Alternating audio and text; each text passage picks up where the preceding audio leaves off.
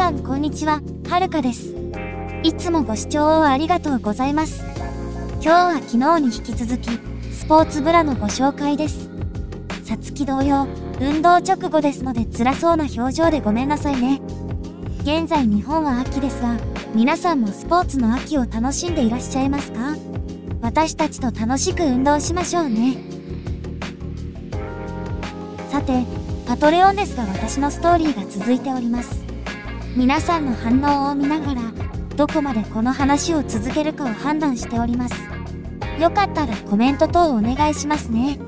また、昔の話も一旦完了してたり、途中で止まってたりするものがあります。基本、需要のある話を多く続ける予定ですのでご了承ください。書籍などであれば、ある程度継続できるのですが、サブスクといった形態だとそのようになってしまいます。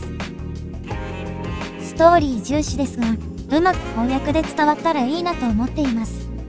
そのあたりも感想をコメントいただけると助かります。各種リンクは動画の説明欄に記載しておきます。一度検索結果を経由いただくことになると思いますが、上位に表示されていると思いますのでお手数ですが探してみてください。それでは、今日もごゆっくりお楽しみください。